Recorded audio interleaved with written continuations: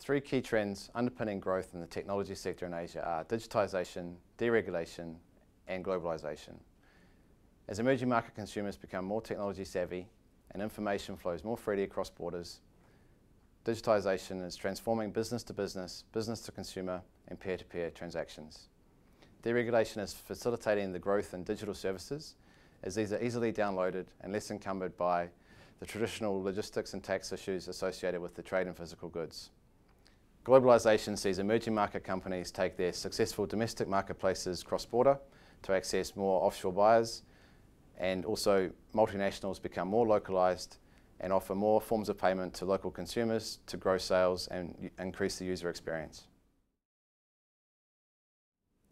As well as the search for growth, we see treasurers in the technology industry very focused on lowering costs and improving working capital efficiencies. Because Asia is home to over 50% of the world's technology firms, we see a real interest in trade financing solutions, including supply financing and distributor financing. Both of these solutions enable a treasurer to secure their supply chain, providing lower cost funding alternatives to their key partners, as well as freeing up working capital cash to redeploy for more capital gain. So trade financing solutions in Asia are hugely popular in the tech industry, but how does a treasurer execute?